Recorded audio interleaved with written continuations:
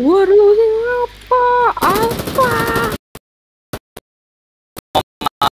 damn, I love the lag yeah. spike.